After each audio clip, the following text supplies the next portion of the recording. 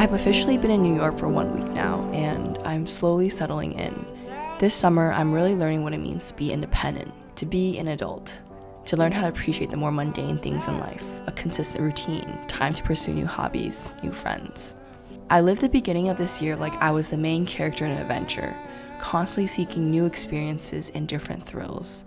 I found fulfillment in external things parties, career, love interests anything that would advance the storyline to my adventure. But I'm taking the summer to find fulfillment and peace, in the quiet moments, in myself. So, this is what my days have been looking like.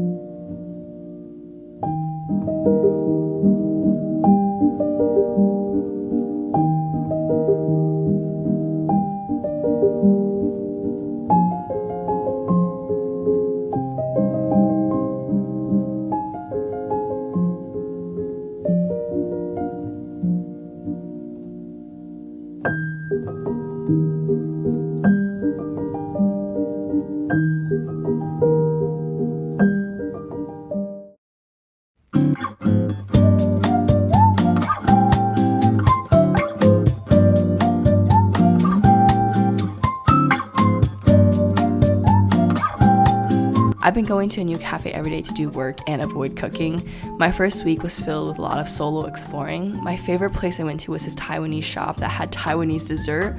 One thing that everyone knows about me is my obsession with Meet Fresh, but this place hand makes the little taro balls, and guys, it's so much better than Meet Fresh. It was bussin'.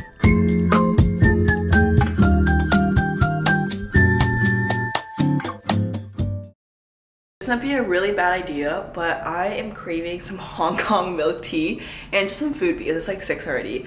But there's gonna be like a thunderstorm in 15 minutes.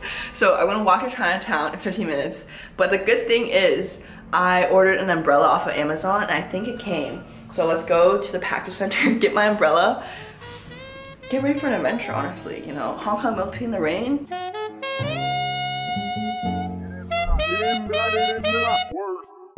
your motherfucking tone, boy.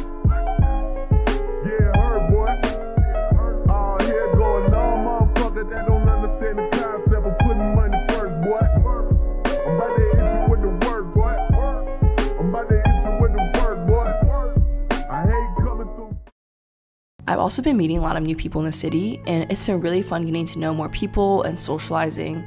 But I do miss having my close friends around, friends that don't drain my social battery, where silence is comfortable, where I can fully let my guard down. I've been thinking a lot about authenticity recently, and if everyone is getting the same Lindsiann, or if I'm still catering my personality to fit other people. I think on YouTube, even, you guys see a very specific facet of my personality.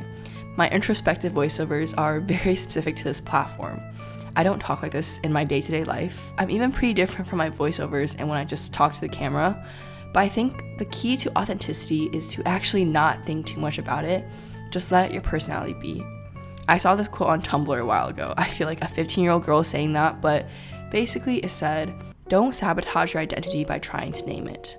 Let it be undefined, permeable, mixed, peculiar, unapologetically authentic. Be at peace with being unprecedented, with not fitting anywhere, with being adrift.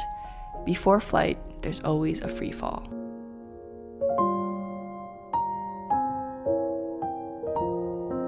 This quote really resonated with me because I think for the longest time I've been trying to name my identity, to try to put it in a box where it made sense and where I felt like I finally knew who I was. But I guess like identity is constantly changing and there's really no point in trying to define it or be your most authentic self. You just have to be. Another thing I've been really enjoying is to go to the park. New York is indeed a concrete jungle and it makes me appreciate nature that much more.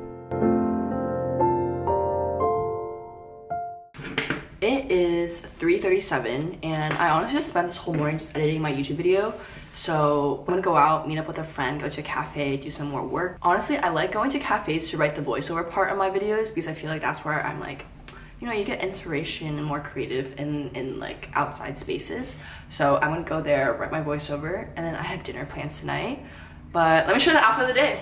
Okay, so I'm just wearing this red top and these track pants. It's like 66 degrees in New York today, which is a lot colder because it was literally like 95 yesterday.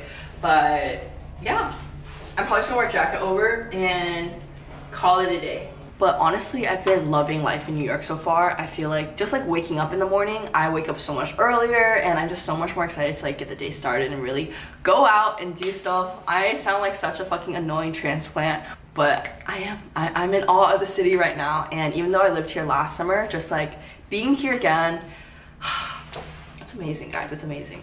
And I feel like I, I've like literally been here for 48 hours and I've already made like a lot of new friends, which is like really fun and exciting. So yeah, I, I'm happy right now, guys.